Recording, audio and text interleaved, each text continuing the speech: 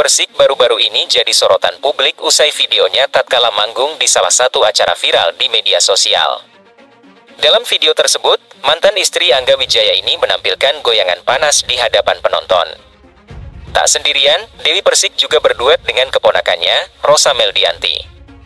Di bawah sorotan lampu panggung, Dewi Persik tampil mengenakan busana ketat bermotif animal printed.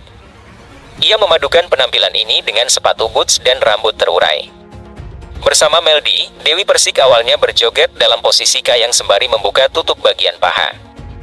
Ia kemudian mengganti gerakan twerk dengan menggerakkan bagian pinggul serta pantat. Aksi Dewi Persik dalam menghibur penonton ini belum berakhir sampai di situ. Ia sempat berjoget sembari berdiri sebelum akhirnya mengulangi gerakan twerk. Masih mau lagi? Tanya Dewi Persik disambut dengan suara teriakan para penggemar. Menanggapi keinginan penonton, Dewi Persik nampaknya kembali bersiap untuk beraksi.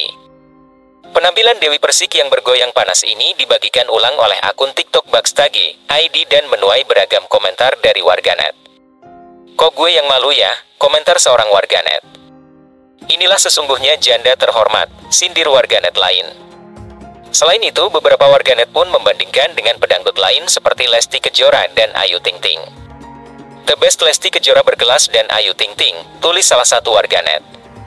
Lesti yang sederhana penampilan dan gayanya di panggung santun sangat, tetap aja dia terbaik, tambah warganet yang berbeda. Selain dari itu, kabar selanjutnya.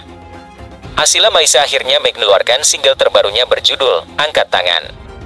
Putri aktor dan presenter Ramzi itu pun mulai gencar melakukan promosi untuk lagu tersebut. Salah satunya, Asila Maisa menggaet salah satu diva dangdut tanah air, Lesti Kejora.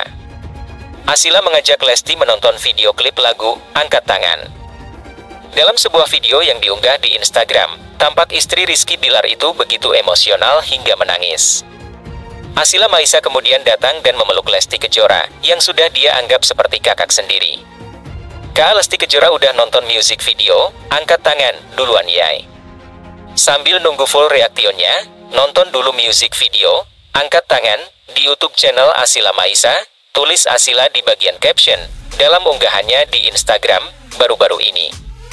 Meski hanya sepenggal video reaksi Lesti Kejora nonton MV Angkat Tangan punya Asila Maisa, banyak warganet yang memberikan komentar nyinyir.